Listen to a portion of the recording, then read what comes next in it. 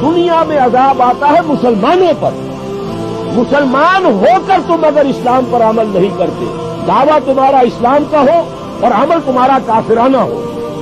नाम लो तुम मोहम्मद का सल्लल्लाहु अलैहि वसल्लम और इतवा करो तुम मोहम्मद के दुश्मन। हो दावा करो अल्लाह और उसके रसूल की वफादारी का और तुम्हारी दोस्तियाँ हो अल्लाह और उसके रसूल के दुश्मन हो